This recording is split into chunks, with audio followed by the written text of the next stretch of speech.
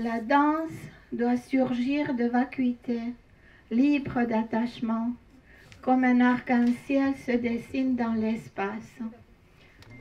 Donc le nom de l'exposition déjà c'est Cham, les danses sacrées du Tibet. Le caractère sacré ne vient pas uniquement du fait qu'il vient de, du monastère, euh, c'est plus profond que ça. C'est parce que les chams, euh, ce sont des termes, c'est-à-dire c'est des euh, trésors qui ont été relevés dans la profonde méditation au grand lama éveillé. Je suis très heureux d'être présent pour cette journée d'un triste anniversaire, puisque le 10 mars 1959, effectivement, c'est une tragédie pour le peuple tibétain condamné à, s'exiler. Et Dharamsala est devenu le, nouveau centre de spiritualité de la culture tibétaine. Mais en tout cas, la culture tibétaine, même si en Chine, elle est réduite à sa plus simple expression, survit à l'étranger. Elle survit d'abord à Dharamsala, et ce qui m'avait frappé à Dharamsala, c'était justement qu'en partant, ils sont partis avec les livres. Mm. Et qu'on peut voir tout ce qui est la tradition euh, tibétaine préservée, conservée. Un peuple qui s'en va avec ses livres, ça veut dire beaucoup de choses. C'est-à-dire c'est c'est un peuple qui veut continuer à vivre hein, et, et, avoir un destin dans, dans l'histoire de, de l'humanité. Toutes les cultures sont belles et qu'elles doivent être respectées. Et donc, euh, euh, pour nous, c'est aussi apprendre, connaître s'enrichir de, de, de, l'histoire des autres, de la culture des autres, c'est soi-même s'émanciper.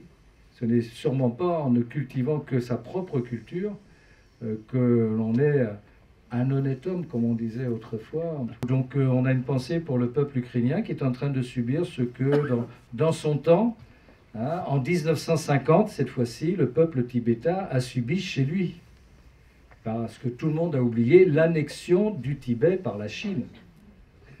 Quand on parle du 10 mars, il ne faudrait pas oublier non plus la date de 1950 où l'armée chinoise est entrée au Tibet hein, et qui ont fait que le Tibet est devenu aujourd'hui une province euh, chinoise morcelée avec une petite partie reconnue officiellement comme tibétaine et l'autre purement et simplement tout simplement sinisé totalement quand même. La seule chose qui est une vérité, c'est que rien ne justifie la guerre. Rien ne justifie la guerre. Voilà, c'est ce que j'avais envie de vous dire. Et avec Vive le Tibet libre, je dirais aussi Vive l'Ukraine libre.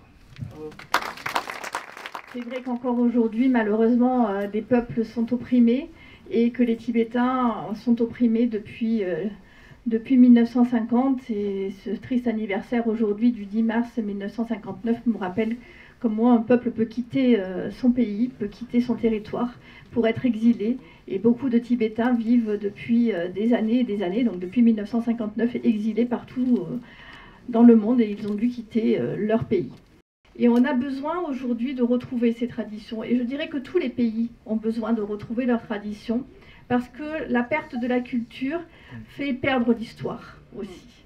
Et je salue euh, justement euh, ce rappel historique que nous a fait le maire Lionel Lucas, parce qu'aujourd'hui, les, jeunes générations, et je dirais même ma génération, on n'a pas cette culture historique.